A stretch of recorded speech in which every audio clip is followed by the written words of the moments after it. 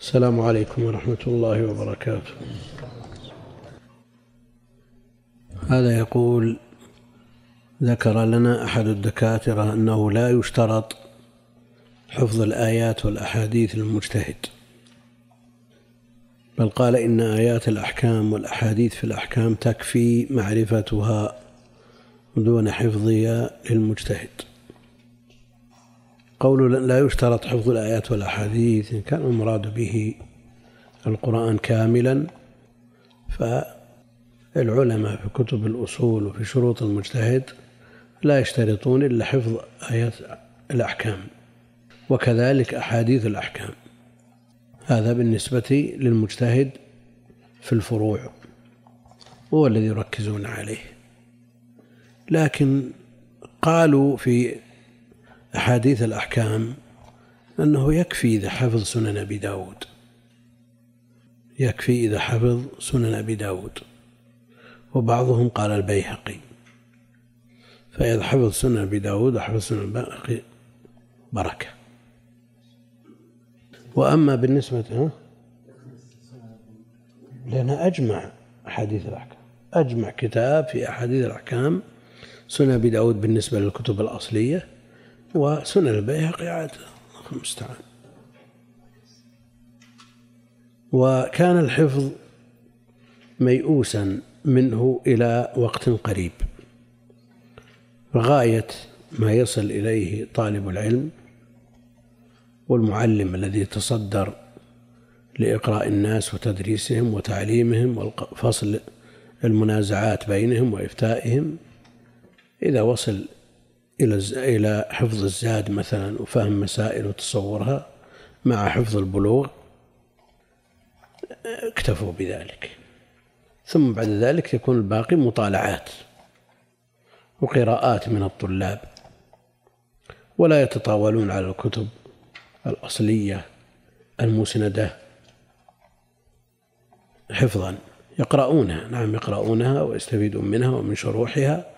لكن الحفظ اقتصرنا فيه على هذه المتون.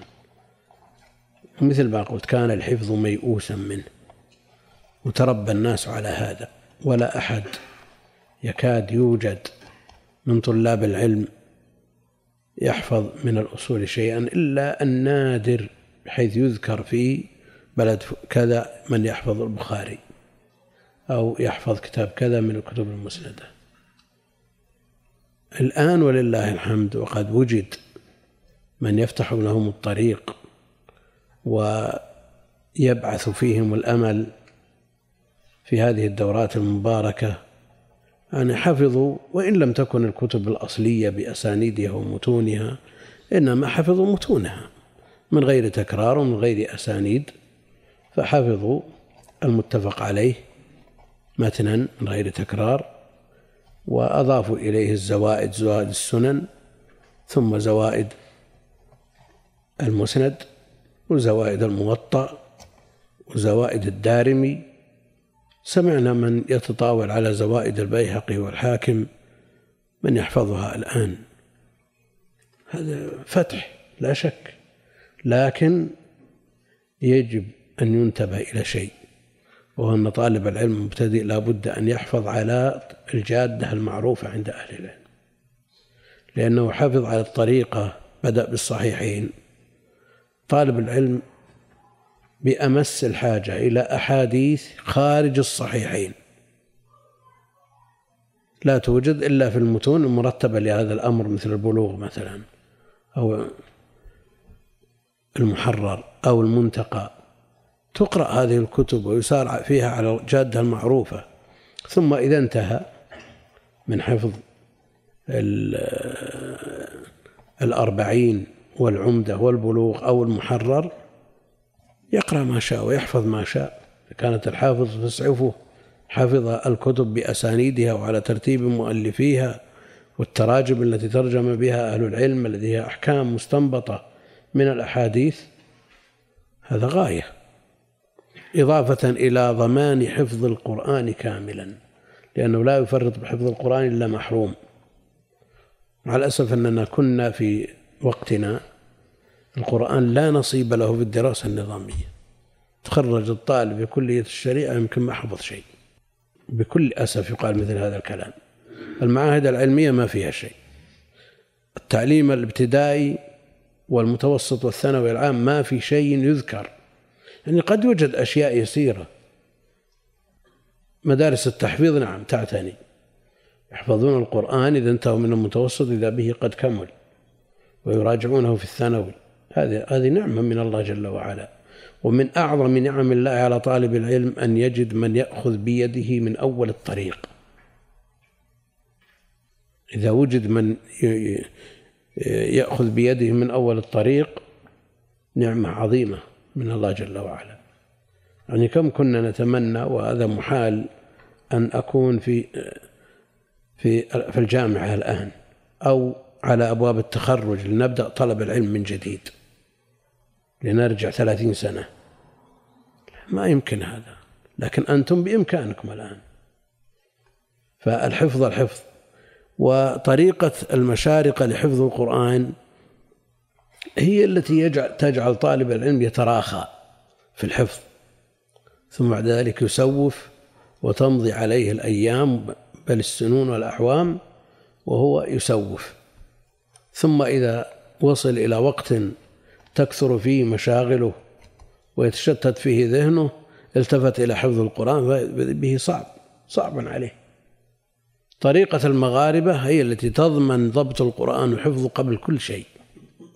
كما ذكر ذلك ابن خلدون في مقدمته. يحفظون القرآن كامل قبل أن يدخلوا عليه شيء من العلوم الأخرى.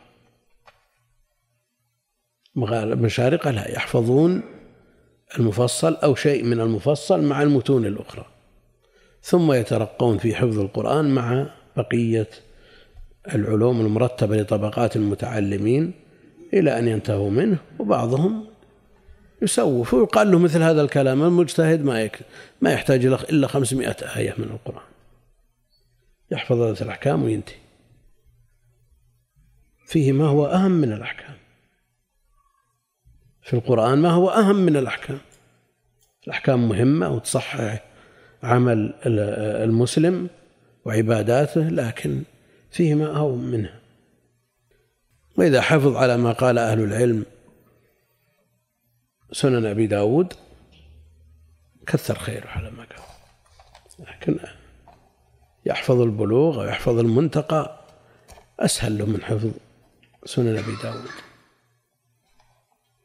وقال أيضا إنه يستبعد أن يكون أحد من السابقين أو المعاصرين يحفظ القصيدة أو الكلام من أول مرة يسمعها أو يقرأه ويقول أن ذلك إن ثبت فهو نادر جدا هو نادر صحيح.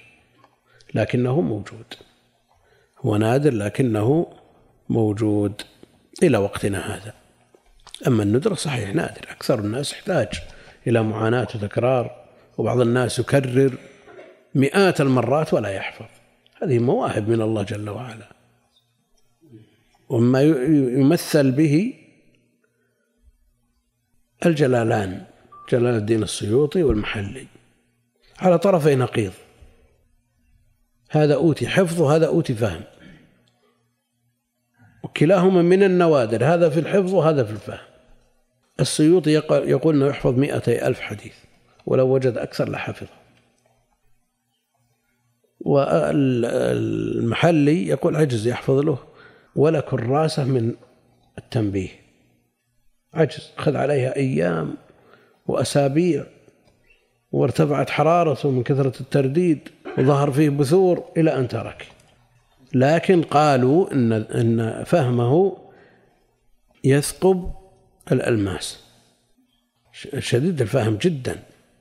وهذا يعني حصل له خير وذاك حصل له خير. هذا له طريقته ومنهجه وذاك له وسيلته في التحصيل. نقول الذي لا يستطيع أن تسعفه حافظته حافظته ضعيفة يستعين على طلب العلم بالكتابة. بعض الناس يقول والله قرأت في تفسير ابن كثير يوم طبقت الكتاب إلى الذهن ما في شيء. أحاول أعصر أجيب ما لقيت شيء. نقول اختصر ابن كثير. والاختصار يكون بعد فهم. ويحصل تحصل تحصل على خير عظيم وغير ذلك من الكتب. هذا يقول أريد أن أركز على شرح معين للزاد بحيث يكون عمدة لي في التركيز فهل أختار الشرح الممتع أو الروض؟ على كل كلاهما فيه خير لكن إن جمعت بينهما فلا شك أنك تستفيد فائدة تامة. الزاد لا شك أنه متن متين وفي مسائل كثيرة ولا بد من فهم هذه المسائل وتصور هذه المسائل وتصوير المسائل والاستدلال لها. ذكرنا هذا في مناسبة تحدثنا فيها عن طريقة التفقه. والشرح الممتع شرح سهل وعلى اسمه ممتع ويعين على فهم الكتاب وسهل ميسر ما في صعوبة يستطيع أن يقرأه الطالب بنفسه. وأما الروض فيحتاج إلى معلم وهو الذي يربي طالب علم. يكون في يوم من الأيام ممن يعتمد عليه. في إفتاء الناس والقضاء بينهم وتعليمهم لأن أسلوبه أسلوب أهل العلم المتقدمين التي يربى عليها طلاب العلم. الشرح الممتع نافع فيه مسائل وفيه تنبيهات وفيه أشياء من تحريرات الشيخ لكن كل يفهم. يعني ما يختص بطالب علم لا يقرأ طبيب استفاد. لكن خل الطبيب يقرأ في الروض المربع ما يستفيد. سم. بسم الله الرحمن الرحيم. الحمد لله رب العالمين. وصلى الله وسلم على نبينا محمد وعلى آله وصحبه والتابعين لهم بإحسان إلى يوم الدين. قال الإمام ابن كثير رحمه الله تعالى وقال أبو داود حدثنا عبد الأعلى بن حماد قال حدثنا عبد الجبار بن الورد قال سمعت ابن أبي مليكة يقول قال عبيد الله بن أبي زيد مر بنا أبو لبابة فاتبع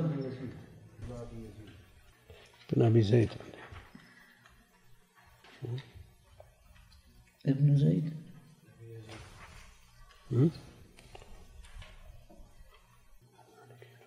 صفحة كم صفحة كم سبعة ثمانين ابن أبي زيد عبيد الله بن أبي زيد. كذا عندي في نسخة الشيخ محمد رشيد رضا. هم رجال أبي داود. قريب التقريب عندك. أولاد الشيخ وش فيه يزيد.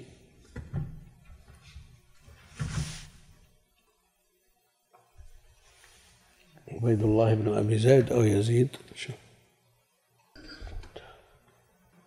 الآخر الأول. وبعد تاب أول الثاني. خليهن كلهن معك. خليهن كلهن معك. اجلس. خذهم معك مرنا مر بنا أبو لبابة. شوف مر, مر بنا أبو لبابة فاتبعناه حتى دخل بيته.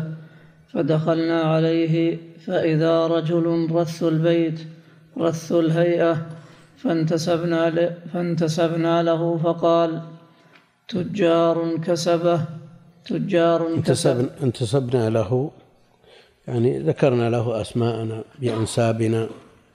وهذه جرت العادة أنه إذا دخل أحد ضيف على صاحب بيت أو نحوه يسألهم من أنتم؟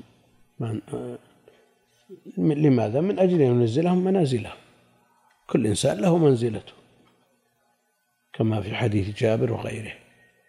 يسألهم. هذه من الآداب المحمودة لأنه قد يدخل عليك لكن مع الأسف المجاملة والحياء المذموم يدخل عليك تستحي تسأله لأنه يظن أنك تعرفه. معرفة تامة وأنه إنسان مشهور ومعروف. فإذا سألته عن اسمه نفسه عن اسمه قد يكون في نفس الشيء. فأنت تدرأ مثل هذا الأمر وما تسأل وهذا يحصل معنا كثير. كثير من الأخوان اللي عندنا من سنين ما نسألهم ولا ولا يتعرضون لشيء يستمرون. ما نعرف أسماءهم. ولا شك أن هذا خلل. هذا خلل لا سيما آه، آه، طلاب العلم مع شيخهم لابد أن يكونوا معروفين. آه، فضلا عن أن يكون جاء إلى بيتك ودخل عليك وانبسطت أنت وياه قد تجلس معه ساعة أو ساعتين ويخرج ما تعرفه. ولو عرفته قبل ذلك لنزلته منزلته حصل لنا من هذا شيء كثير نحرج. يجيك على أنه شخص مشهور وأنتم تقول من أنت. صعبة. عندنا صعب على النفس أن تقول من أنت. لكن هذا هذا الأدب لكن تسأله أسهل من يطلع وأنت ما عرفته ولا نزلت منزلته ولا الله المستعان. يزيد. يزيد نعم.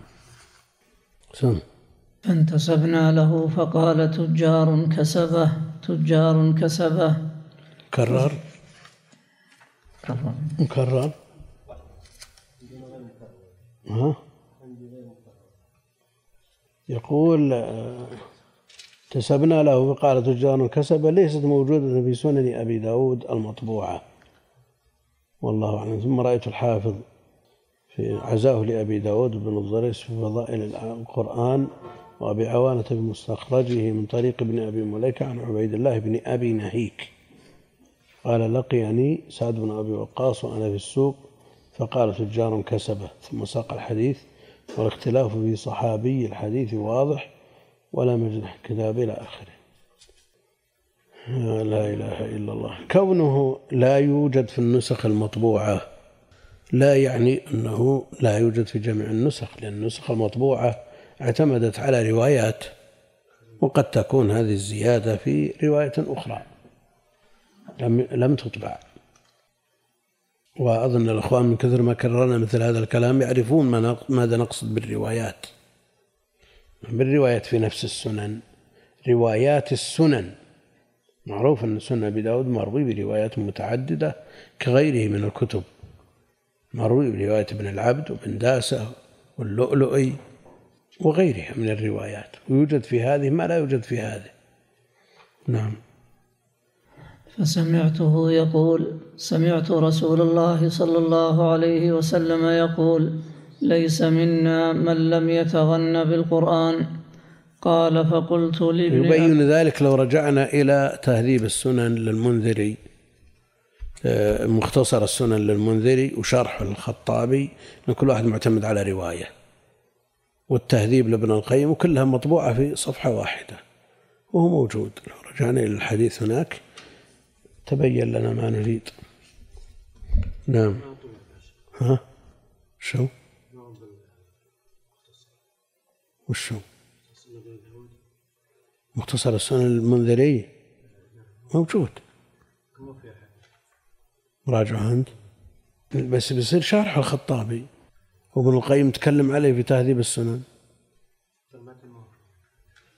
وما يلزم في فرق بين شرح الخطابي ومختصر آه، المنذري وتهذيب السنن لابن القيم ثلاث كتب هي.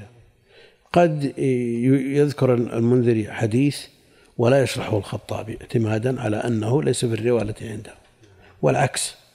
وقد يذكر ابن القيم على استيعابا لبعض الروايات التي لم يذكرها المنذري ولا الخطابي. الكتب الثلاثة الجمع بينها توفيق من الله جل وعلا. نعم. قال فقلت لابن أبي مليكة يا أبا محمد أرأيت إذا لم يكن حسن الصوت؟ قال يحسنه ما استطاع. تفرد به أبو داود.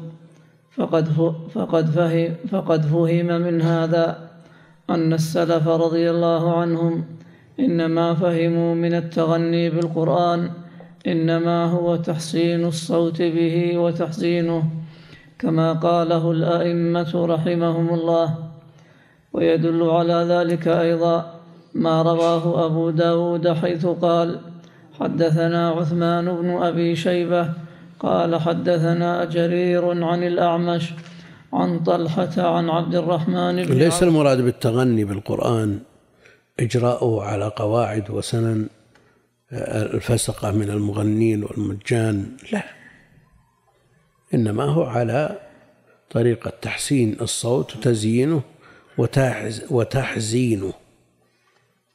تسمع بعض القراء قراءته تصل إلى القلب لأنه يقرأ بحزن. تسمع القراءة من فمه تتأثر بها وبينما بعض الناس اللي يجريه على القواعد المعروفة من التمطيط والمدود والألحان ما كأنك تسمع القرآن. نعم.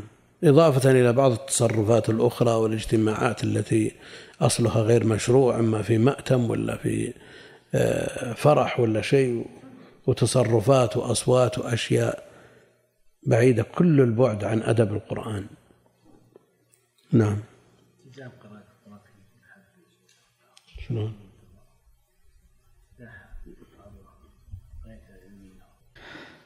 عن الأعمش عن طلحة عن عبد الرحمن بن عوسجة عن البراء بن عازب قال قال رسول الله صلى الله عليه وسلم زينوا القرآن بأصواتكم وأخرجه النسائي وابن ماجة من حديث شعبة عن طلحة وهو ابن مصرف به. وأخرجه النسائي من طرق أخرى عن طلحة وهذا إسناد جيد. إيه ساقطا ساقطا عندنا كل سطر. من طلحة وهو ابن مصرف. به. به. شو بعده؟ وأخرجه النسائي من طرق أخرى. أخرى. عن طلحة. أيوه. وهذا إسناد جيد. سطر. نعم. وقد وثق النسائي وابن حبان عبد الرحمن بن ابن عوسجة هذا. ونقل الأزدي عن يحيى بن سعيد القطان أنه قال سألت عنه بالمدينة فلم أرهم يحمدونه. وثقه وثقه النسائي ونقل الأزدي عن يحيى بن سعيد القطان وأن يحيى بن سعيد معروف بتشدده والناقل عنه غير ثقة. أبو الفتح الأزدي غير غير مرضي في كلامه على الرجال كما هو معلوم. غير مرضي في كلامه ولا ما دام غير ثقة فنقله عن يحيى فيه نظر. نعم. وقال أبو عبد الرحمن بن عوسجة أبو عبد الله؟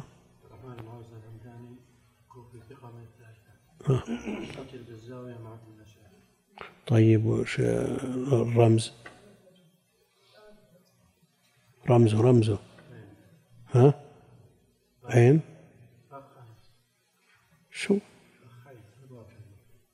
البخاري في الأدب.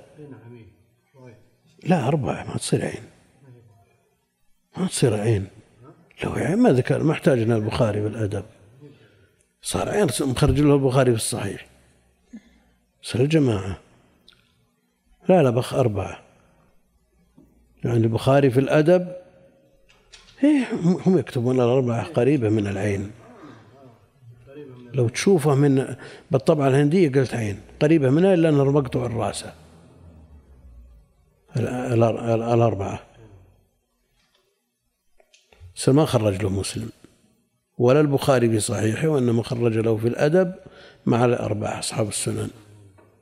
نعم. وقال أبو عبيد القاسم بن سلام حدثنا يحيى بن سعيد عن شعبة قال نهاني أيوب أن أحدث بهذا الحديث زينوا القرآن بأصواتكم. قال أبو عبيد وإنما لأن في معناه إشكال يعني بادئ الظاهر المتبادر من من لفظ يزينوا أن القرآن بحاجة إلى تزيين كأن فيه نقص. يكمل بهذا التزيين وليس هذا مراد. فكان ينهاه عن أن يحدث بهذا الحديث لهذا الأمر. نعم. قال أبو عبيد وإنما كره وإنما كره أيوب فيما نرى أن يتأول الناس بهذا الحديث الرخصة من رسول الله صلى الله عليه وسلم. في الألحان المبتدعة فلهذا نهاه أن يحدث به. قلت ثم إن شعبة رحمه الله روى الحديث متوكلا على الله كما روي له ولو ترك كل حديث يتأوله مبطل لترك من السنة شيء كثير. نعم ليس المرجع في ذلك إلى أفهام الناس. ليس المرجع في ذلك إلى أفهام الناس. إنما المرجع في ذلك إلى النص بفهم السلف. نعم.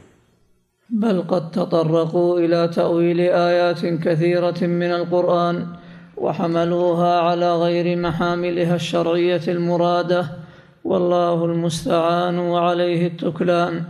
ولا حول ولا قوة إلا بالله. والمراد من تحسين الصوت بالقرآن تطريبه وتحزينه والتخشع به. كما رواه الحافظ الكبير بقي بن مخلد. رحمه الله حيث قال حدثنا بقي, بقي لأن عندنا تقي. نعم.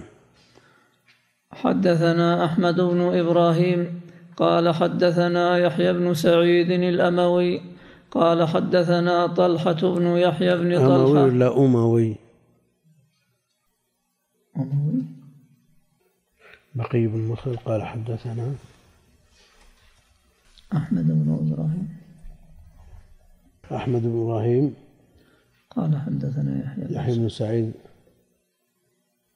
الأموي. قال حدثنا طلحة. عندكم السند؟ ها؟ لا الطبعة هذه معروف أنها فيها لكن طبعات أخرى. ها؟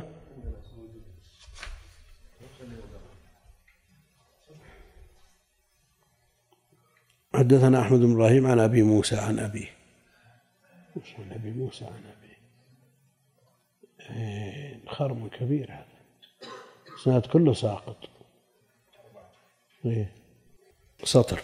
لكن الأموي والأموي كان منسوب إلى بني أمية وهو الغالب يقال له أموي. وابن خير الإشبيلي صاحب الفهرست المعروف المشهور أموي. بالضم نسبة إلى بني أمية وهذا ظاهر وهذا الغالب. وأموي نسبة إلى جبل في الأندلس يقال له أمو بالفتح. نعم. أنساب قد تلتبس. هناك أبي وهناك إبي. الأبي شارح مسلم من الغرب ومن أبة. والإبي من إب باليمن نعم. حدثنا يحيى بن سعيد الأموي قال حدثنا طلحة بن يحيى بن طلحة عن أبي بردة بن أبي موسى عن أبيه قال قال لي رسول الله صلى الله عليه وسلم ذات يوم يا أبا موسى لو رأيتني وأنا أستمع قراءتك البارحة. قلت أما والله لو علمت أنك تسمع قراءتي لحبرتها لك تحبيرا ورواه مسلم من حديث طلحة به وزاد لقد أوتيت مزمارا من, من مزامير آل داود. وسيأتي هذا في بابه حيث يذكره البخاري. والغرض أن أبا موسى قال لو أعلم أنك تسمعه لحبرته لك تحبيرا فدل على جواز تعاطي ذلك وتكلفه. وقد كان أبو موسى كما قال صلى الله عليه وسلم. قد أعطي صوتا حسنا كما سأذكره إن شاء الله مع خشية تامة ورقة أهل اليمن الموصوفة. فدل على أن هذا من الأمور الشرعية. قال أبو عبيد وحدثنا عبد الله بن صالح عن الليث عن يونس عن ابن شهاب عن أبي سلمة قال كان عمر إذا رأى أبا موسى قال ذكرنا ربنا يا أبا موسى فيقرأ عنده. قال أبو عبيد حدثنا إسماعيل بن إبراهيم قال حدثنا سليمان سليمان التيمي. بعض الناس ممن لم يؤت صوتا حسنا ليس عنده في الأصل صوت حسن أو ليس خطه جميلا. إذا أراد أن يحسنه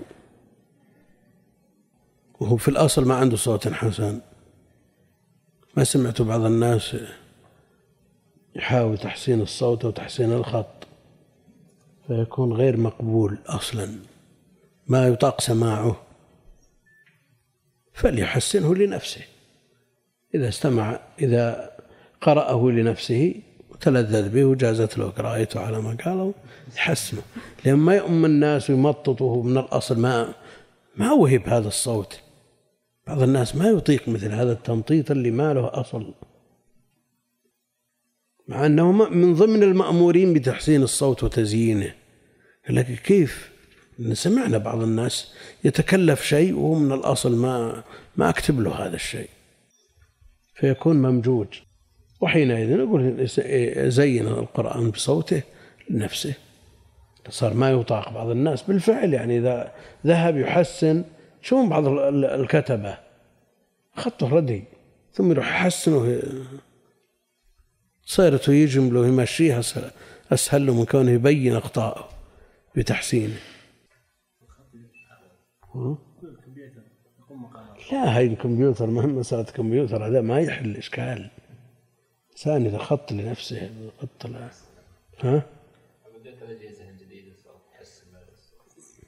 تحسن الصوت؟ شو الصدى لا يكلف الله نفسا إلا ما آتاها اللي أعطاك إياه يطالبك به. نعم. حدثنا سليمان التيمي أو نبئت عنه. قال حدثنا أبو عثمان النهدي قال كان أبو موسى يصلي بنا فلو قلت إني لم أسمع صوت صنج قط. لم أسمع. إني لم أسمع صوت صنج قط ولا بربط قط ولا شيئا قط أحسن من صوته. هذه من من آلات اللهو التي يستعملها المغنون في أغانيهم. نعم. وقال ابن ماجه حدثنا العباس بن عثمان الدمشقي قال قال حدثنا الوليد بن مسلم قال حدثني من أيهم؟ عباس عباس بن عندك شيخ بن عثمان. إلى أنا عندي حدثنا آه، العباس بن عثمان. العباس بن عثمان بن عبد الرحمن. وش اللي في الأصل في سنن ابن ماجه؟ لازم يرجع له. محقق يقول كذا في نسخة كذا ونسخة كذا والمصدر عنده. أنا يقول حدثنا العباس بن عثمان الدمشقي وعند ابن ماجه برقم 1338 الذين أبقوا عثمان هذا رجعوا إلى الكتاب الأصلي؟ هم؟ لا أنت عندك ابن عثمان أبو عبد الله؟ ومخرج الحديث؟ إيه؟ مرة ما صححوا كلهم يعدون نفس الرقم. ها؟ كلهم يعدون نفس رقم الحديث وهذا عثمان وهذا عبد الله سم. حدثنا العباس بن عثمان الدمشقي قال حدثنا الوليد بن مسلم قال حدثني حنظلة بن أبي سفيان أنه سمع عبد الرحمن بن ساب ابن. عبد الرحمن عبد الرحمن بن سابط الجمحي يحدث عن عائشة قالت أبطأت على رسول الله صلى الله عليه وسلم ليلة بعد العشاء ثم جئت فقال أين كنت؟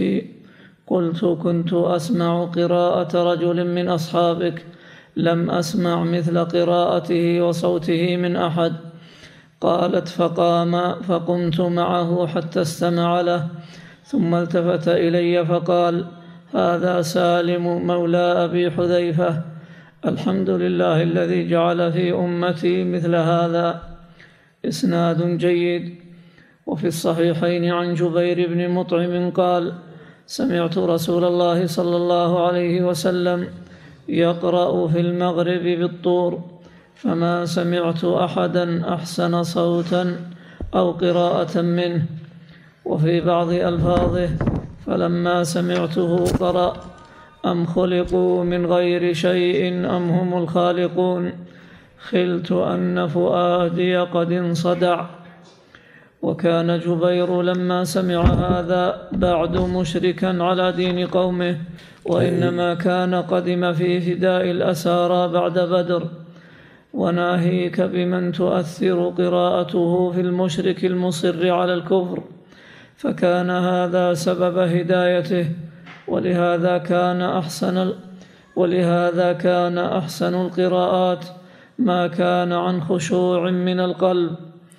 كما قال أبو عبيد حدثنا إسماعيل بن إبراهيم عن ليث بعض من يزاول الدعوة ويمتهنها تجده يعظ الناس بالقصص والأخبار والحكايات ويغفل عن تذكير الناس بالقرآن. والله جل وعلا يقول فذكر بالقرآن. وهذا رجل مشرك سمع القرآن لأول مرة من النبي عليه الصلاة والسلام. كاد كلب قلبه أن يطير. كاد ينصدع قلبه. فلو أن كل واحد منا إذا كانت قراءته لنفسه لا تؤثر فيه كما هو حال الكثير مع الأسف من طلاب العلم ينظر في أكثر القراء الموجودين تأثيرا فيه ويقتني مصحفا كاملا مسجلا بقراءة هذا القارئ الذي يؤثر فيستمع إليه وتكون وظيفته الاستماع والتأمل والتدبر والقارئ يقرأ وإذا احتاج تكرار آية أعادها لأن هذه الآلات والله الحمد نفعت نفعا عظيما. فيستفيد فيستفيد المستمع أكثر مما يستفيد حال قراءته لا سيما إذا كان آه، قلبه مشوش وفيه من الأعمال والأشياء التي تجعله لا لا لا ينتبه لما يقرأ. وبعض الناس يستفيد من القراءة أكثر من الاستماع لأنه يغفل أثناء الاستماع. وبعض الناس العكس. فليختبر الإنسان نفسه فإذا كانت قراءته لنفسه أكثر فائدة لزمها. وإن كانت استماعه لقراءة غيره لا سيما وأن الغير متعدد ويستطيع أن ينتقي أنفع الناس لقلبه أنفع قراءة أنفعها لقلبه ويلزمها ولا يحرم نفسه من القراءة. والمستمع له في الأجر مثل القارئ. إذا قصد بذلك الانتفاع وأنه أنفع له من القراءة وكل يصنع ويفعل الأنفع له. نعم.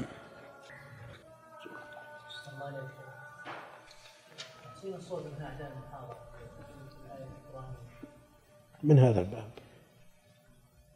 إذا مر القرآن وقرئ سواء كان على جهة الاستقلال أو مع غيره هو داخل بزين. هذا الكافر جبير بن مطعم أثر فيه القرآن وهو كافر. وقال الله جل وعلا عن النصارى وإذا سمعوا ما أنزل إلى الرسول ترى أعينهم تفيض من الدمع. مثل هذا مثل هذا الذي نسمعه. ما يحرك فينا شيء. ما يجعلنا نعيد حساباتنا وننظر في أمورنا وأحوالنا. يعني لا فرق بين أن يقرأ القرآن ويتلى القرآن وبين تسمع نشرة أخبار أو تحليل أو شيء من هذا. ومع الأسف أن البعض إذا سمع قصة من كتاب سندها ضعيف أو تالف حركت في نفسه ما لم يحركه كلام الله. لا شك أن هذا عنده خلل. يجب عليه أن يراجع نفسه. ابن القيم يقول تفقد قلبك. في قراءة القرآن والذكر والصلاة. يقول إن, إن وجدته وإلا فاعلم أن الباب مغلق. مغلق. لكن كيف تفتح هذا الباب المغلق؟ ابن القيم رحمه الله في الجواب الكافي ذكر بعض المفاتيح. النصارى يبكون من القرآن حينما نبكي. كافر جاء في فداء الأسرى كاد قلبه أن يطير. نقرأ القرآن من أوله إلى آخره على وجه نرجو أن يكون مقبولا. ومع ذلك ما ما يؤثر شيء ولا يحرك ساكن. والرسول عليه الصلاة والسلام يقول شيبتني هود وأخواته. اللي شيبنا والحديث مثل به ابن الصلاح للمضطرب شيبتني هود وأخواته ولكن الحافظ بن حجر رأى ترجيح بعض الطرق على بعض فانتفى عنده الاضطراب وحكم عليه بالحسن. نعم شيخ. ولهذا كان أحسن القراءات ما كان عن خشوع من القلب كما قال أبو عبيد حدثنا إسماعيل بن إبراهيم عن ليث عن طاووس قال أحسن الناس صوتا بالقرآن أخشاهم لله. وحدثنا قبيصة عن سفيان عن ابن جريج عن ابن طاووس عن أبيه قال أحسن الناس صوتا بالقرآن أخشاهم لله. وهنا سقط عندنا إيه؟ حسن سلم ولا مسلم؟ إلى أظن في سقط؟ في بعد ها؟ جاي السند بعد. إيه أظن في سقط عندنا. عن ابن جريج عن ابن طاووس عن أبيه. نعم إيش عندك؟ قبل عن الحسن. وعن الحسن اللي عند الشيخ خير. حدثنا قبيصة عن سفيان بن جريج وعن الحسن بن مسلم عن طاووس. شفت ما عندكم عن قبيصة حدثنا قبيصة عن أبيه. أخشاهم له وحدثنا أحد من سطرين الشيخ وحدثنا قبيصة عن سفيان عن ابن جريج عن ابن طاووس عن أبيه قال أحسن الناس صوتا بالقرآن أخشاهم لله. وحدثنا قبيصة عن سفيان عن ابن جريج لكن هذا قال مساقط من جيم وعندي خطأ من الناسخ فقد انتقل بصره إلى السند التالي له وألحق به متن الأثر السابق شنو؟ يقول وحدثنا قبيصة عن سفيان عن ابن جريج عن ابن طاووس عن أبي وعن مسلم عن طاووس وحدثنا قبيصة عن سفيان عن ابن جريج عن ابن طاووس عن أبيه وعن الحسن. إذا الزيادة هذه ما لها أصل. اللي يقول شو؟ ها؟ هو نفسه في الأصل. في كتاب أبي عبيد. ما في هذا السقط اللي أشرنا إليه. كتاب أبي عبيد بدونه. وعن الحسن. ابن مسلم ولا ابن سالم عندك؟ في الأصل. خلاص هو العمدة. أي مسلم. نعم. وحدثنا قبيصة عن سفيان عن ابن جريج عن ابن طاووس عن أبيه وعن الحسن بن مسلم عن طاووس قال سئل رسول الله صلى الله عليه وسلم أي الناس أحسن صوتا بالقرآن؟ فقال الذي إذا سمعته رأيته يخشى الله.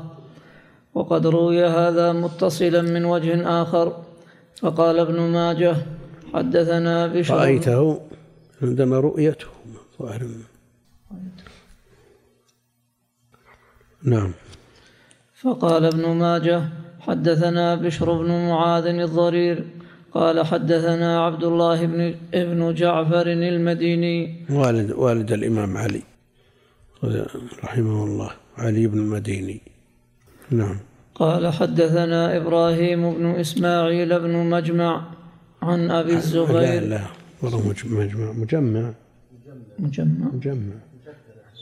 هو مجمع. عن مجمع بن جارية. عندك ابن ابن مجمع؟ عن حدثنا إبراهيم بن إسماعيل بن مجمع. كذا. وأنت؟ شوف مجمع بن جارية. إبراهيم قبل. إبراهيم بن إسماعيل. أنا عندي عم مجمع عن أبي الزبير عن جابر. إبراهيم بن إسماعيل بن مجمع. ابن؟ هم؟ إبراهيم بن إسماعيل بن مجمع إيه. عن أبي الزبير عن جابر. كذا؟ لا عندك أنت الشيخ. نعم. خلاص كمل. حدثنا إبراهيم بن إسماعيل بن مجمع عن أبي الزبير عن جابر قال قال رسول الله صلى الله عليه وسلم إن من أحسن الناس صوتا بالقرآن الذي إذا سمعتموه يقرأ حسبتموه يخشى الله. ولكن عبد الله بن جعفر ابن جعفر هذا وهو والد علي بن المديني وشيخه ضعيفان والله أعلم. والغرض أن المطلوب شرعا إنما هو التحسين بالصوت الباعث على تدبر القرآن وتفهمه والخشوع والخضوع والانقياد للطاعة. فأما الأصوات بالنغمات المحدثة المركبة على الأوزان المركبة على الأوزان والأوضاع الملهية والقانون الموسيقى الموسيقاني فالقرآن ينزه عن هذا ويجل ويعظم. الموسيقائي. الحمزة الموسيقائي. والقانون الموسيقائي. فالقرآن ينزه عن هذا ويجل ويعظم أن يسلك في أدائه هذا المذهب. وقد جاءت السنة بالزجر عن ذلك كما قال الإمام العلم أبو عبيد القاسم بن سلام رحمه الله حدثنا نعيم بن محمد عن بقية بن الوليد عن حسين بن مالك الفزاري قال سمعت شيخا يكنى أبا محمد يحدث عن حذيفة بن اليمان قال قال رسول الله صلى الله عليه وسلم اقرأوا القرآن بلحون العرب وأصواتها وإياكم ولحون أهل الفسق وأهل الكتابين وسيجيء قوم من بعدي وسيجيء قوم من بعدي يرجعون بالقرآن ترجيع الغناء والرهبانية والنوح لا يجاوز حناجرهم مفتونة قلوبهم وقلوب الذين يعجبهم شأنهم. وحدثنا يزيد عن شريك عن أبي اليقظان عن أبي اليقظان عثمان. حديث حذيفة إيش قالوا عنه؟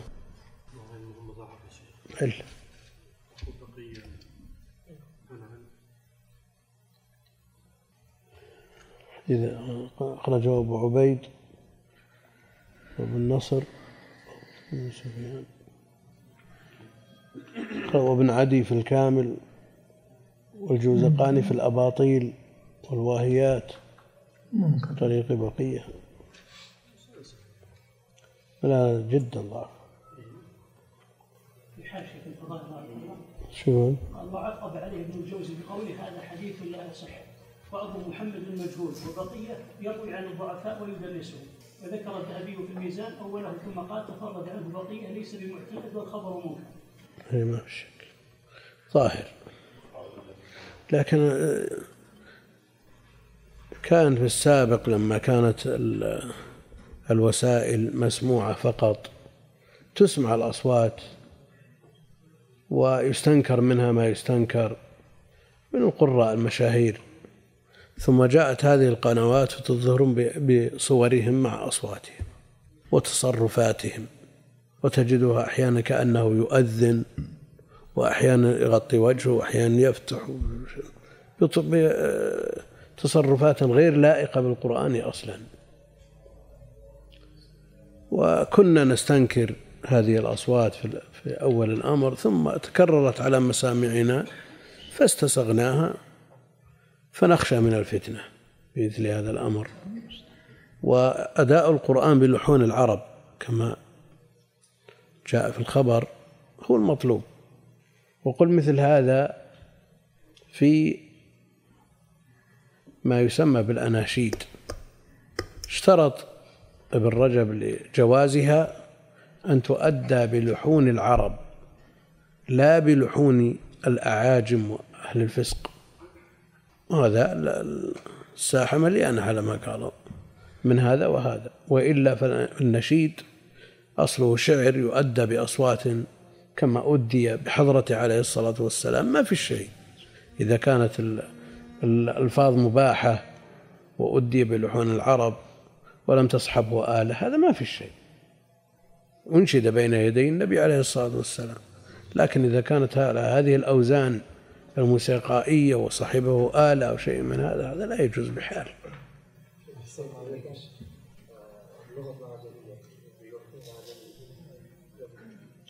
كلام على النشيد بلغة العرب ولحونهم. كنت اللغة الأعجم ابن رجب اشترط أن يكون بلحون العرب. بلغة الأعاجم بشيء لا يؤثر في النفوس تأثير الغناء. لا يؤثر في النفوس تأثير الغناء. والعبرة بالتأثير لأنهم أحيانا يقولون هذا ما في آلة في اجتماع أصوات وليس فيها آلات موسيقية.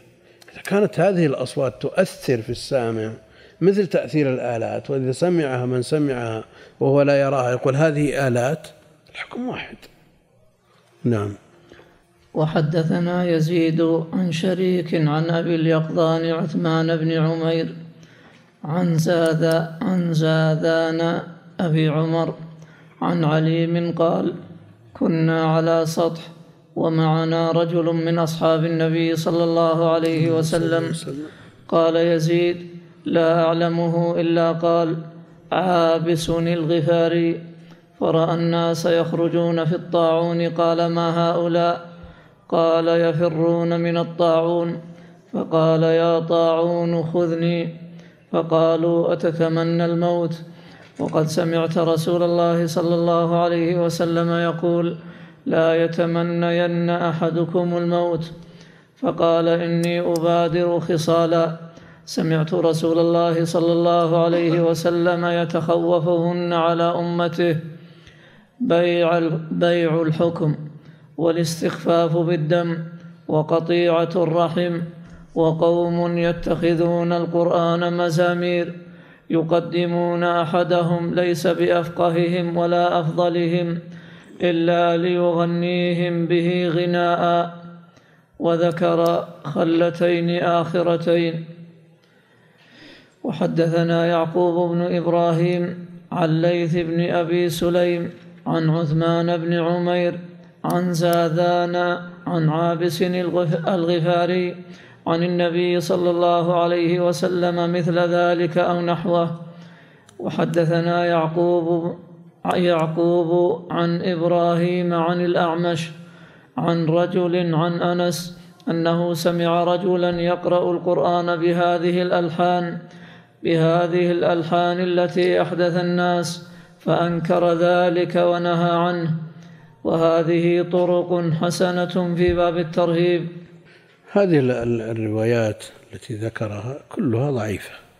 والحافظ المؤلف رحمه الله قال إنها حسنة بمجموعها في باب الترغيب وإلا في الأصل أنها لا ترقى إلى درجة الحسن لأن ضعفها شديد.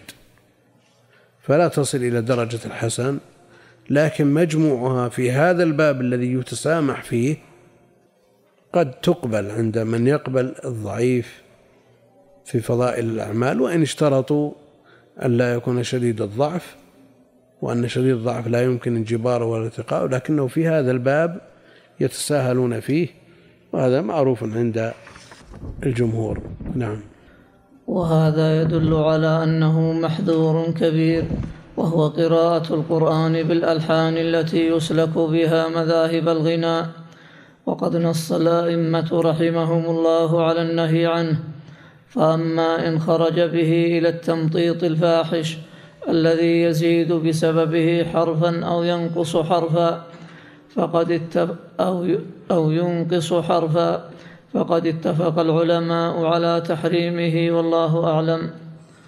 وقال الحافظ أبو بكر البزار حدثنا محمد بن معمر قال حدثنا روح قال حدثنا عبيد الله بن الأخنس عن ابن أبي مليكة عن ابن عباس قال قال رسول الله صلى الله عليه وسلم ليس منا من لم يتغن بالقرآن.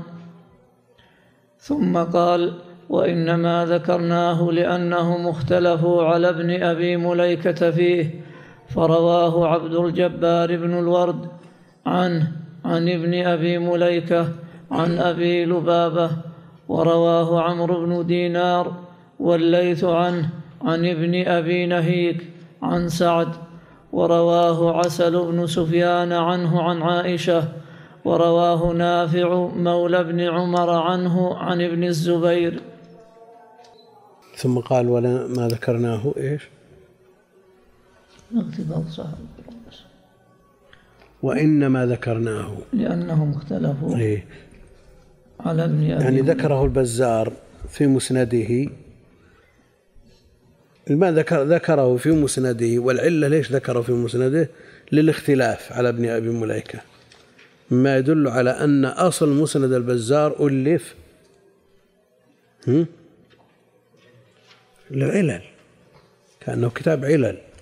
ولا وش إنما ذكرناه لأنهم اختلفوا. نعم. في كلام للشيخ محمد رشيد رضا فيه طول لكن يسرد. لأهميته. يقول مع معنى هذه الروايات صحيح ولكن لا يصح سند شيء منها. وحسنها المؤلف بتأييد بعضها لبعض على القاعدة عند المحدثين. ليست هذه القاعدة المعروفة عند المحدثين في جبر الطرق بعضها ببعض. الجبر عندهم إنما يكون فيما يقبل الانجبار. إذ ضعفه ليس بشديد. أما ما كان ضعفه شديدا فإنه لا يقبل الانجبار إلا على طريقة السيوطي وبعض العلماء المعاصرين. تجد إذا كثرت الطرق مشاه قال دل على أن لها أصل وإلا فالأصل عند أهل العلم وجادتهم وطريقتهم أن الضعيف شديد الضعف لا يقبل الانجبار. وحسنها المؤلف بتأييد بعضها لبعض على القاعدة عند المحدثين والمعنى الجامع أن قراءة القرآن بالنغم المحمودة شرعا هي ما تكون به القراءة أشد تأثيرا في النفس وخشوعا في القلب واعتبارا في العقل وأن المحظور منها التطريب المتكلف الذي يشغل السامع بلذة الصوت وحسن النظم عن المعنى المراد والخشوع المطلوب. وما من أحد سمع قراءة المجودين وللأصوات الحسنة إلا وشعر بالتأثير العظيم في قلبه بقراءتهم. والسبب في تأويل التغني بالقرآن وكراهية بعض العلماء له أن الغناء صار شعار أهل اللهو والمسرفين في الشهوات. ولذلك حرم المتشددون من الفقهاء الغناء. حرم المتشددون من الفقهاء الغناء والمعازف مطلقا. مع العلم بأن مزامير نبي الله داود أنزلت لأجل الترنم بها وكانت الطير تحشر وتجتمع لصوته ترجع ترنيمه بتسبيح الله تعالى كما قال تعالى والطير محشورة والطير محشورة كل له أواب. وقد عهد إقبال الطير على سماع المغنين الحسن الصوت كالبلبل والهزار في كل عصر بل نقل علماء الحيوان والتجارب أن بعض الحشرات كالنحل ترقص لسماع الصوت الحسن وأن بعضهم رأى حية ترقص عند سماع الغناء. كان داود عليه السلام يسبح الله ويترنم له بزبوره على آلات الطرب والمعازف الوترية وغيرها. ما بصحيح. الكلام يحتاج إلى دليل. ولا يوجد في كتب أنبياء بني إسرائيل شيء من الصلوات والتسبيح للرب والثناء عليه كما مزامير داود التي لم يطرأ عليها من التحريم مثل الذي طرأ على غيرها وجاء في آخر الأمر بذلك وجاء في آخره الأمر بذلك. وإننا كثيرا ما رأينا بعض أدباء النصارى يرغبون في سماع القرآن من القراء المجودين ويعترفون بقوة تأثيره في القلوب. هذا صحيح لكن الكلام السابق عن داود ومزامير وأنه ب... هذا كلام يحتاج إلى إثبات. وفي الصحيح أن المشركين كانوا يؤذون أبا بكر رضي الله عنه ويمنعونه من الصلاة في المسجد الحرام ثم حاولوا منعه من رفع صوته بالقرآن في بيته. لما رأوا من إقبال الناس ولا سيما النساء والأولاد المدركين عليه وتأثير قراءته في أنفسهم. يقول وقد أدرك بعض علماء الإفرنج بعض علماء الفرنج ما كانت ما كان لتلاوة رسول الله صلى الله عليه وسلم للقرآن من التأثير العظيم في جذب العرب إلى الإسلام واعترف بأنه كان أشد تأثيرا من جميع معجزات الأنبياء في هداية الناس. وإننا لاستيفاء مباحث هذه المسألة التي تعم بها فائدة هذا الكتاب نذكر هنا ما أورده الحافظ بن حجر في شرح في شرحه لهذا الحديث من فتح الباري. فقد جمع ما قاله جميع العلماء في تأويل التغني في بيتين من نظمه ثم قف عليهما بخلاصة أقوال أشهر فقهاء المذاهب. أما البيتان فهما تغنى بالقرآن حسن به الصوت حزينا جاهرا رنمي واستغني عن كتب الأولى طالبا غنى يد والنفس ثم الزمي. ثم قال وسيأتي ما يتعلق بحسن الصوت بالقرآن في ترجمة مفردة ولا شك أن النفوس تميل إلى سماع القراءة بالترنم أكثر من ميلها لمن لا يترنم لأن التطريب لأن للتطريب تأثيرا في رقة القلب وإجراء الدمع وكان بين السلف اختلاف في جواز القراءة بالألحان. أما تحسين الصوت وتقديم حسن الصوت على غيره فلا نزاع في ذلك. فحكى عبد الوهاب المالكي عن مالك تحريم القراءة بالألحان وحكاه أبو الطيب الطبري والماوردي وابن حمدان من الحنبلي عن جماعة من أهل العلم وحكى ابن بطال وعياض والقرطبي من المالكية والماوردي والبندنيجي والغزالي من الشافعية وصاحب الذخيرة من الحنفية الكراهة. اختاره أبو يعلى وابن عقيل من الحنابلة. وحكى ابن بطال عن جماعة من الصحابة والتابعين الجواز وهو المنصوص للشافعي ونقله الطحاوي عن الحنفية وقال الفوراني من الشافعية في الإبانة يجوز بل يستحب. محل هذا الاختلاف إذا لم تختل بشيء من الحروف عن مخرجه فلو تغير قال النووي في التبيان أجمعوا على تحريمه ولفظه أجمع العلماء على استحباب تحسين الصوت بالقرآن ما لم يخرج عن حد القراءة بالتمطيط فإن خرج حتى زاد حرفا أو أخفاه حرم. قال وأما القراءة بالألحان ففي فقد نص الشافعي في موضع على كراهته وقال في موضع آخر لا بأس به. فقال أصحابه ليس على اختلاف قولين بل على اختلاف حالين فإن لم يخرج بالألحان عن المنهج القويم جاز وإلا حرم.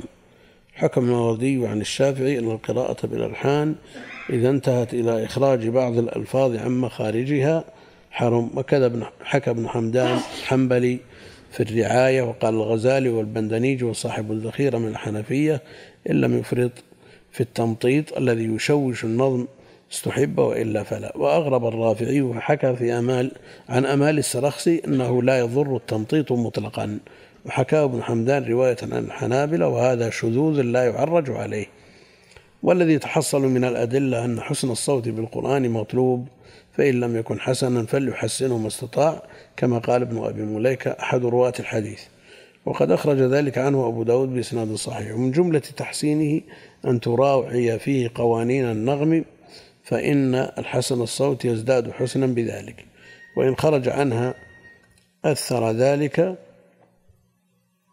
في حسنه وغير الحسن ربما انجبر بمراعاتها ما لم يخرج عن شرط الأداء المعتبر عند أهل القراءات فإن خرج عنها لم يفي تحسين الصوت بقبح الأداء ولعل هذا مستند من كره القراءة بالأنغام لأن الغالب على من راعى الأنغام أن لا يراعي الأداء فإن وجد من يراعيهما معا فلا شك في أنه أرجح.